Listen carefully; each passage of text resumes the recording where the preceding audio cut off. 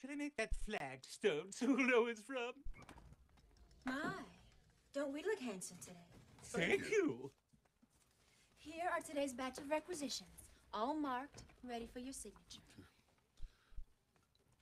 You know, Miss Stone, I've been signing stacks of these things for weeks now, and I hate to pry, but what are they? Oh, just tiny little forms so that we can pay the contractors working on the modernization. You know, we remodeled our kitchen a couple of years ago, and let me tell you, contractors can be real pirates. I'm going to read these over. No. You're much too busy for that, Mr. Flintstone. Besides, reading is my job. And you wouldn't want to put poor little old me out of work now, would you? No.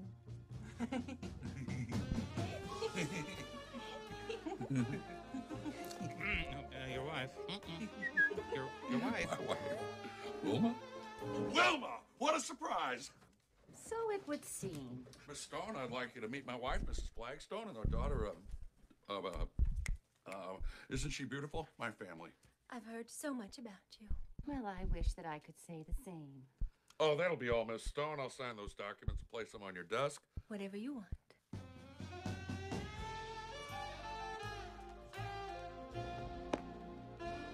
Secretary is very attractive.